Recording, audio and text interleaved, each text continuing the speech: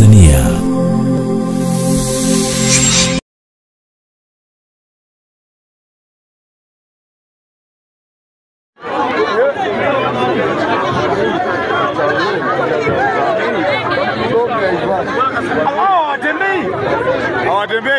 Asante sana ndugu mwandishi, mimi naitwa mchungaji Fairod Nyagawa, mchungaji wa kanisa la Tanzania Assemblies of God, nachunga Njombe TAG Njombe mjini, lakini pia mimi ni askofu wa jimbo jimbo la Njombe Kusini.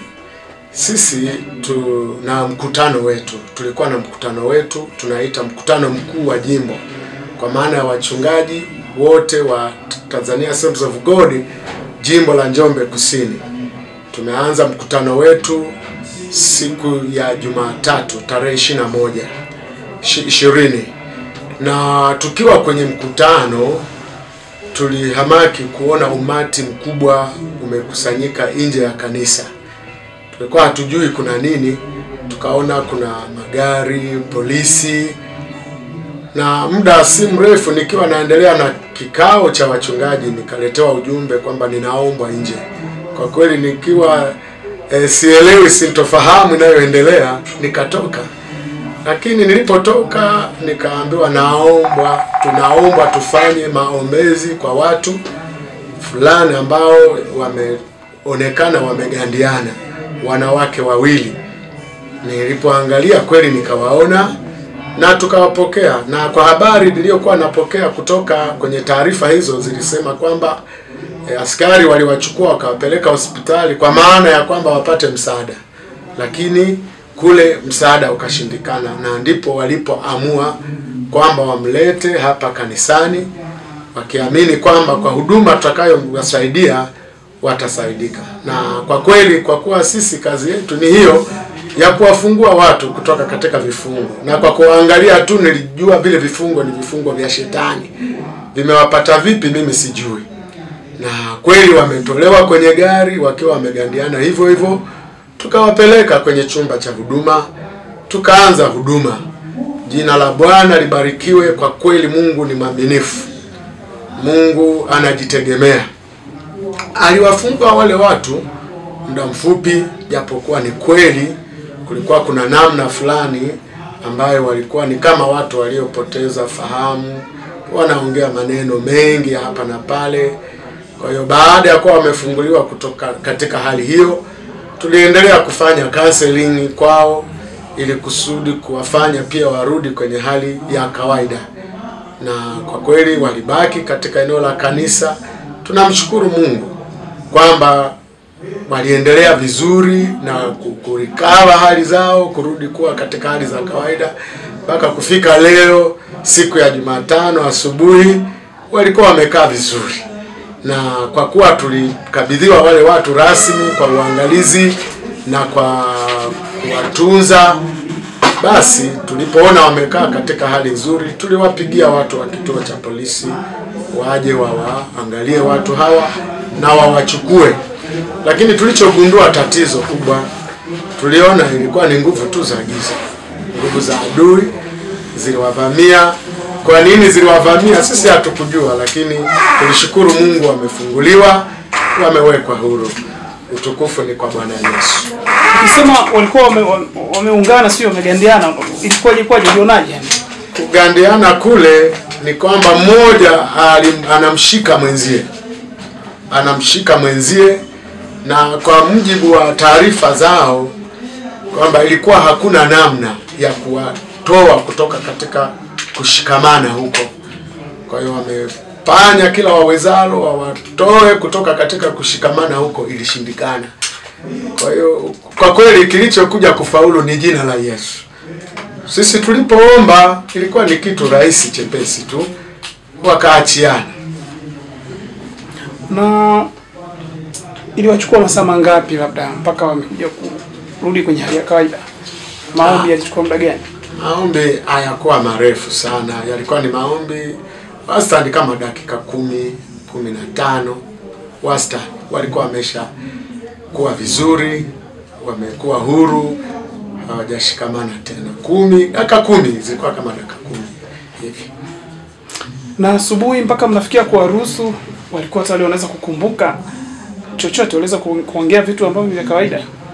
Um, sisi hatukushughulika sana kwa habari ya nini kilichotokea hatukutaka tuwahoji sana, madam tulifahamu zilikuwa ni nguvu za giza na wamewekwa huru. Kwa hiyo tulichoshukuru hicho tu kwamba wamewekwa huru, wamefunguliwa. Wao nao hawaelewi tukio. Unajua, mtu akiisha kuwa ameshikwa na nguvu za giza mara nyingi hawezi ku, ku, kuelewa, maana anakuwa sasa ana, anakuwa controlled na kitu kingine, yeye anakuwa nje ya ufahamu na uelewa, na hiyo tunafahamu. Hata kama ataeleza vitu fulani, unaweza ukakuta vile vitu havijanyoka ambavyo hatuwezi hata kuvizingatia. Sisi tunakuwa tunaelewa tuliokuwa tunatoa huduma kwamba hawa walikuwa katika mazingira haya na sasa wako hivi. Jamii ina changamoto nyingi, changamoto zenyewe ni kama hizi ambazo zimetokea. Pengine wito wako ni nini kwa kwa, kwa umma kumrudia Mungu? Wito wangu kwa kweli, na ni kweli kama ulivyosema ndugu mwandishi wa habari, jamii ina changamoto nyingi sana, na changamoto hizo unakuta ni za kuteswa na nguvu za giza, kuteswa na wachawi na mambo mengi ambayo shetani anasababisha watu maisha yao yasiwe vizuri. Na mimi natoa wito kwa kweli, suluhisho ni kumpata Yesu, kumwamini Yesu afanyike Bwana na Mwokozi wa maisha yao. Hapo ndio suruhisho la changamoto watalipata kabisa.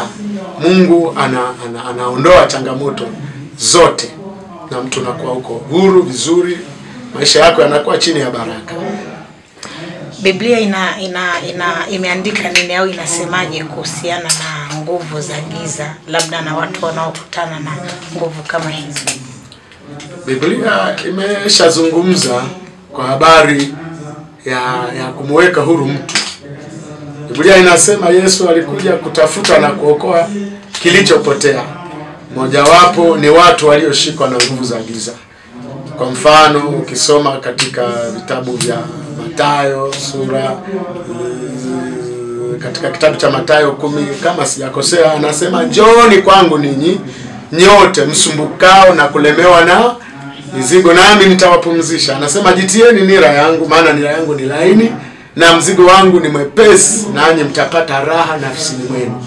Kwa hizo nira ni vifungo ambavyo shetani anafunga na mizigo ni yale mambo ambayo shetani amewabebesha watu. Mtu unaweza ukakuta anatembea unafikiri yuko salama, yuko sawasawa, sawa, kumbe kuna mzigo na kuna nira amebebeshwa. Kuna nira za dhambi, nira za za, za, za, za nguvu za giza kama hivi tulivyoona.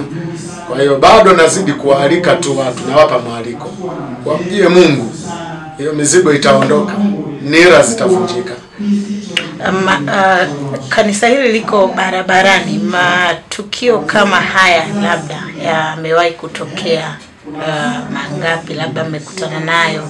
Na nilikuwa nasikia kwamba kuna siku pia askari wa usalama barabarani walimleta mtu hapa kanisani kwa ajili ya kufanyiwa maombi. Ni mara ngapi matukio kama haya mmekutana nayo? Ningeweza kusema matukio maalum kama haya sasa ni kama matatu.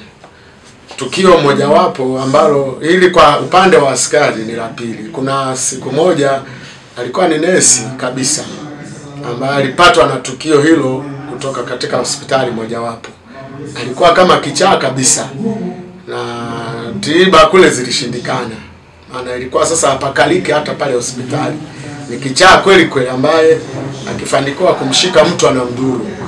Na hapo sisi tulikuwa hapa kanisani, tuliona ambulance imeletwa hapa kanisani, nao wakatoa maombi, tunaomba mtusaidie, kwa kuwa tunamfahamu Mungu wetu kwamba anafungua vifungo. Maana hapa hapa pamekuwa kama hospitali pia kanisani hapa. Ukija kwenye ibada, ukweli utashangaa watu wanavyoponywa magonjwa, wanavyofunguliwa vifungo, mapepo. Kwa hiyo tukasema tutaomba naye, na walitushangaa kwa sababu walikuwa wamemfunga na kum, watu wengi kumshikilia. Tuliwaambia wala msishughulike, nyinyi mwacheni tu. Alipokuwa tu anaanza kuingia mlangoni tu fujo zile zote zilikoma, na tulipoanza kumwombea tuligundua kwamba kulikuwa na nguvu za giza na zilimwacha, na yule nesa alipona. Lakini tukio lingine ambalo, ndugu waandishi wa habari, lilitokea usiku kanisani hapa, kulikuwa na mazoezi ya wanakwaya.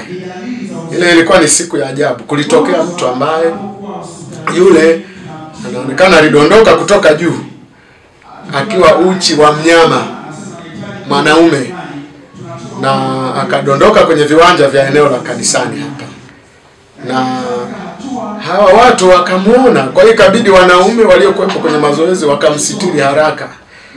Na kisha kumchukua, na naye alikuwa kama mtu network ziko upande mwingine, lakini baadaye, baada ya maombi, network zikamrudi na kumhoji, akasema yeye ametokea Ludewa alikuwa na wenzie. Bahati mbaya yeye gari walilokuwa wanasafiria lili linaonekana alipopita maeneo haya lilipata shida. Na akadondoka, na baadaye ufahamu kamrudia, na asubuhi kulipofika ile ripoti tulipeleka pia polisi, na kwa kuwa alikuwa amesharudi kwenye akili timamu, kwa hiyo waliruhusu aende. Na hilo kwa kweli, ndugu waandishi wa habari, nyinyi hamkulipata hilo, lakini matukio makuu matatu sasa tunahesabu yametokea hapa kanisani. Ukatafute makanisa ambayo ni ya kiroho ambayo yanaweza kuwasaidia kudumisha uponyaji walioupata mahali hapa, lakini uh, kwamba watarudi hapa maana wanako kwao, hilo wataamua wao wakiona kuna haja ya kurudi hapa. Askofu, utakubaliana nami kwamba tukio kama hili si mara nyingi, kama nimeshangaza ni, ni wengi, ni nadra kwenye kwenye kwenye unabii, labda mnaweza kusema hii ina maana gani?